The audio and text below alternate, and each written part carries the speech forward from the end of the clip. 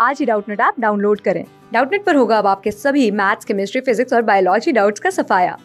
बस अपने क्वेश्चन की फ़ोटो खींचो, उसे क्रॉप करो और तुरंत वीडियो सोल्यूशन पाओ। Download now. हेलो एवरीवन इस क्वेश्चन में बोला गया है a number representing a part of a dash is called a fraction okay तो देखो इस क्वेश्चन का आंसर क्या है? यहाँ पे बोला गया है अ नंबर एक नंबर इज़ रिप्रेजेंटिंग वो क्या रिप्रेजेंट कर रहा है?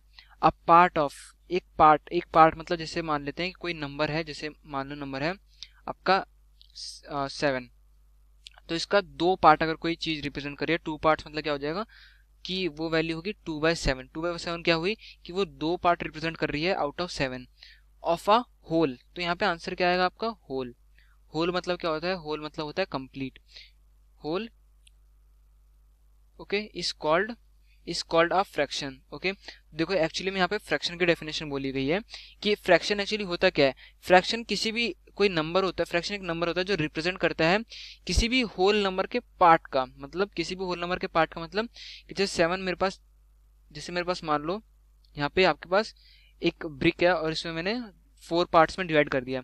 तो अगर मैं सिर्फ़ इस पार्ट की बात करूँ तो ये फ्रैक्शन पार्ट क्या है? ये है वन बाय फोर्थ पार्ट मतलब ये यहाँ पे टोटल कितने पार्ट है? One two three four but ये वाला पार्ट क्या शो कर रहा है? ये वन फोर्थ पार्ट रिप्रेजेंट कर रहा है किस इस पूरे होल ब्रिक का। तो ये वन फोर्थ क्या हुआ? ये इसकी, ये पूरी ब्रिक क्या हुई? होल ओके और इसका वन फोर्थ पार्ट क्या कर रहा है? रिप्रेजेंट कर रहा है इसका फ्रैक्शन ओके सो ये हुआ होल और फ्रैक्शन का मतलब। So this is our final answer for this question thank class six से ट्वेल्थ से लेके NEET I I T JEE mains और एडवांस के लेवल तक।